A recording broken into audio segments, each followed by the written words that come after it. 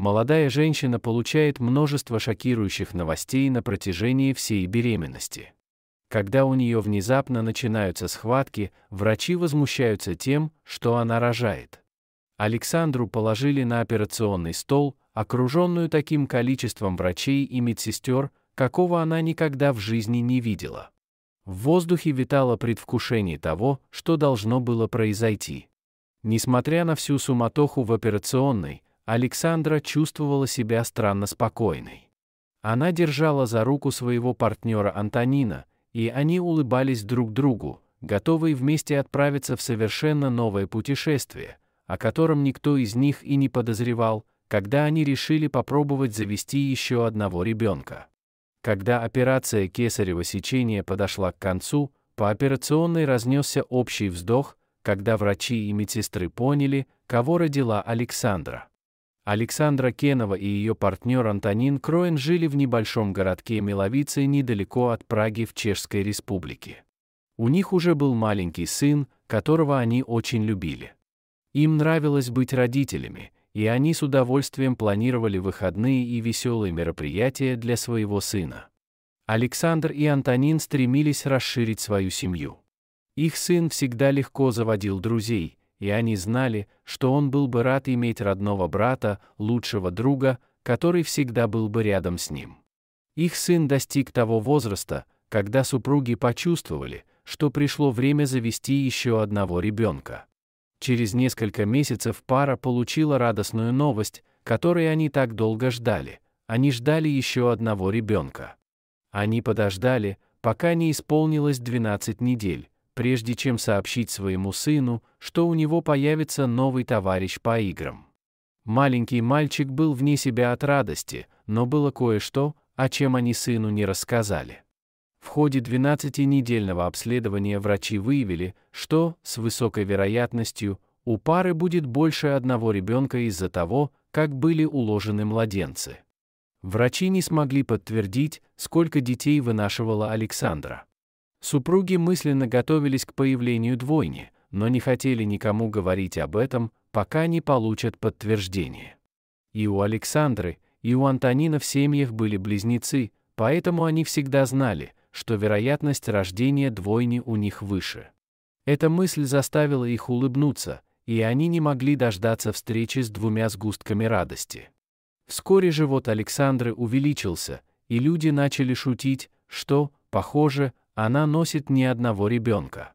Дело дошло до того, что пара больше не могла отмахиваться от замечаний, и, наконец, призналась людям, что ждет двойню.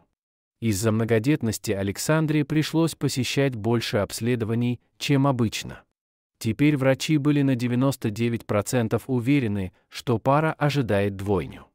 С рождением ребенка все шло так, как и должно было идти, и хотя бывали дни, когда Александре было тяжело выносить двух малышей, она была просто благодарна судьбе за то, что они оба здоровы. Однако вскоре пара узнала шокирующую новость. При очередном обследовании врачи объяснили, что из-за того, что ребенок растет и двигается, теперь кажется, что Александра может вынашивать целых четырех младенцев. Супружеская пара потеряла дар речи, увидев, как при сканировании число младенцев продолжало удваиваться. И снова из-за положения младенцев врачи не смогли подтвердить фактическое количество младенцев, показанное на снимке, и супружеской паре оставалось только гадать, сколько же детей у них будет в конечном итоге. Теперь, когда казалось вероятным, что Александра родит троих или четверых детей, врачи посоветовали молодой женщине не торопиться. Несмотря на то, что она была молода и обладала крепким здоровьем, медицинские работники были очень обеспокоены большим количеством рисков, связанных с многоплодной беременностью. Пара сначала была вне себя от радости из-за того, что ожидала двойню, а затем испугалась, что дети родятся недоношенными и у них будут проблемы со здоровьем. Оставшиеся несколько месяцев беременности Александра отдыхала, чтобы убедиться, что малыши будут здоровы. Во время последнего обследования перед родами врачи сказали Александре, что в интересах ее и детей было бы сделать кесарево сечение.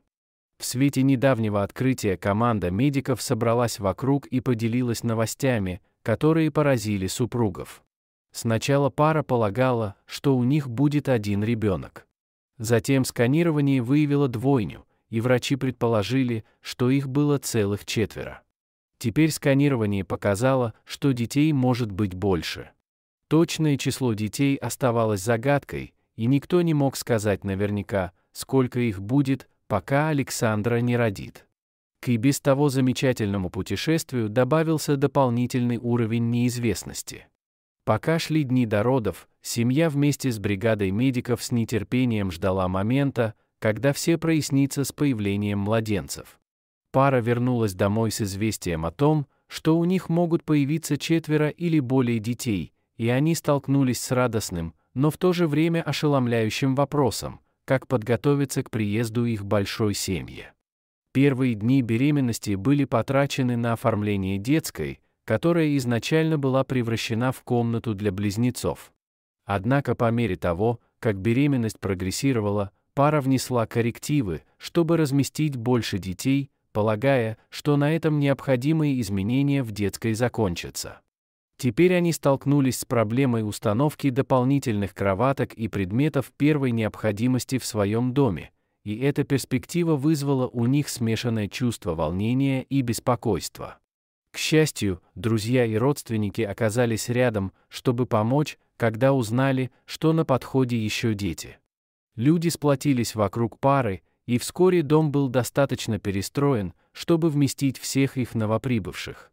Александра и Антонин были чрезвычайно благодарны за все протянутые руки помощи и слова любви и поддержки, которые они получили.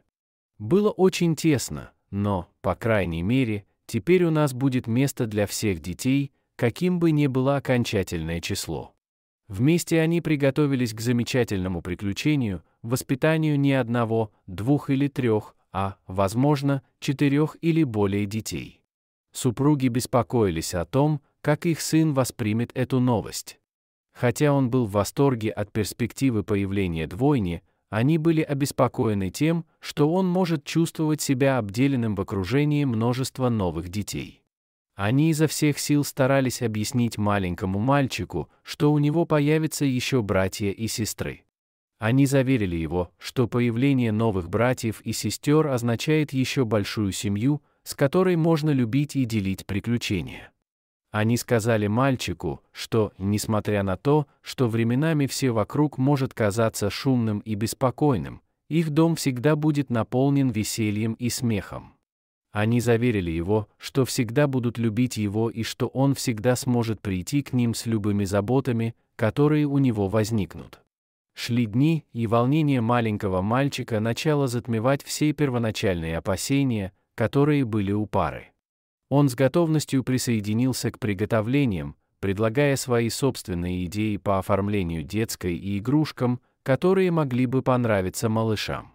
Он даже предложил поделиться с ними своими игрушками. Он постоянно говорил о том, что будет старшим братом не только для одного или двух, но и, возможно, для четырех или более братьев и сестер. Поскольку детей было так много, врачи не смогли определить пол каждого из них, что добавило еще один элемент неожиданности к рождению. Однако супругов это не беспокоило, поскольку все дети были здоровы, и это все, что имело значение. Однако их сын выразил желание, чтобы у него было несколько братьев и сестер, что заставило Александру и Антонина улыбнуться. Врачи не хотели рисковать естественные роды при таком большом количестве детей, но они также хотели назначить кесарево сечение как можно ближе к сроку родов. Теперь все надеялись, что малыши продержатся до тех пор, пока не будет подтверждена дата операции. Иногда, однако, у матери природы другие планы. У Антонина не было другого выбора, кроме как продолжать ходить на работу, как обычно. Дома его ждал маленький сын и еще много детей, и ему нужно было зарабатывать деньги, чтобы заботиться обо всех. К счастью, у Александры было много людей, которые присматривали за ней и помогали присматривать за ее сыном, пока Антонина там не было. По мере приближения срока родов пара придумала план. Александра поедет в больницу со своими родителями, а Антонин встретит их там. Но даже самые продуманные планы не всегда срабатывают. Однажды утром Антонин, как обычно, отправился на работу, когда ему позвонила Александра и сказала, что, по ее мнению, у нее схватки на ранней стадии и она собирается ехать в больницу. Таким образом, врачи надеялись, что у них будет время подготовиться к кесареву сечению. Ее родители согласились поехать с ней в больницу. Когда Антонин заканчивал свою работу, он пообещал Александре, что ни за что на свете не пропустит роды. Но он не ожидал, что поезд, который доставит его в больницу, опоздает. Антонин быстро ушел с работы и направился на вокзал. Он полагал, что у него было достаточно времени, чтобы добраться до больницы до того, как Александру отправят в операционную. Однако, когда он добрался до железнодорожного вокзала, его худшие опасения оправдались. На информационном табло высветилось уведомление о том, что его поезд задерживается. С каждой минутой, пока поезд не прибывал, Антонин становился все более напряженным и расстроенным. Он отчаянно хотел быть с Александрой, чтобы дарить ей свою любовь и поддержку, а также не хотел пропустить рождение кого-либо из своих детей. Он не мог нарушить свое обещание. Когда поезд наконец прибыл, Антонин всю дорогу плакал, опасаясь, что не успеет вовремя. Он метался по больничным коридорам и, наконец, нашел нужное отделение, готовя себя к тому, что он все пропустил. К счастью, произошла небольшая задержка, и Александра как раз собиралась отправиться в операционную. Медсестры быстро помогли ему надеть брюки и шапочку, которые он должен был носить в операционной. После этого он, наконец, смог пойти к Александре. Увидев Антонина, Александра расплылась в широкой улыбке. Она тоже беспокоилась, что он не успеет вовремя, и боялась рожать их многочисленных детей без него. Несмотря на то, что медицинская команда была замечательной и заботливой, они не заменили ей партнера, который был рядом с ней. Как только они оказались в операционной, пара оказалась в окружении такого количества врачей и медсестер, какого они никогда не видели. Но присутствие медицинской бригады их успокоило, они знали, что их малыши получат наилучший уход. Казалось, все происходило так быстро, но Александра чувствовала себя спокойнее, чем когда-либо за последние недели. Она держала Антонина за руку и улыбалась ему. Для пары все вот-вот должно было перевернуться с ног на голову, и они оба знали, что это будет нелегкий путь. Но они знали, что благодаря любви и поддержке друг друга их большая семья может быть полна счастья, смеха и забавы. После того, как местная анестезия начала действовать, бригада медиков приступила к кесареву сечению. Все чувствовали, что в зале царит напряженное ожидание, и всем не терпелось узнать, сколько же на самом деле здесь детей. Никто и представить себе не мог, что в этот день будет вершиться история. Операция прошла гладко, и, к счастью, ни у одной из роженец не было осложнений. Никто не мог бы желать ничего лучшего. Когда операция закончилась, в палате воцарилась тишина, и Антонин с Александрой начали опасаться худшего, особенно когда увидели, как один из врачей шепчется с медсестрой.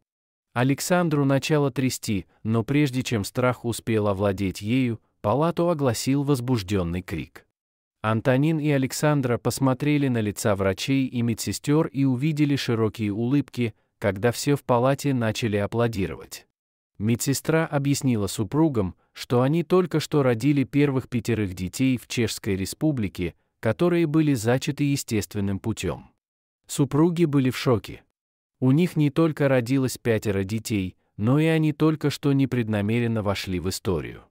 Многоплодные роды, как правило, чаще случаются при использовании эко, но Антонин и Александра зачали естественным путем. Рождение пятерых детей естественным путем – это не что иное, как чудо. Поскольку Александра родила пятерых детей, ее и пятерых других членов семьи поместили в палату интенсивной терапии, чтобы за ними можно было наблюдать. В целом, врачи были очень довольны тем, как хорошо у всех обстоят дела. Всего через несколько дней пара получила известие, которого они так долго ждали.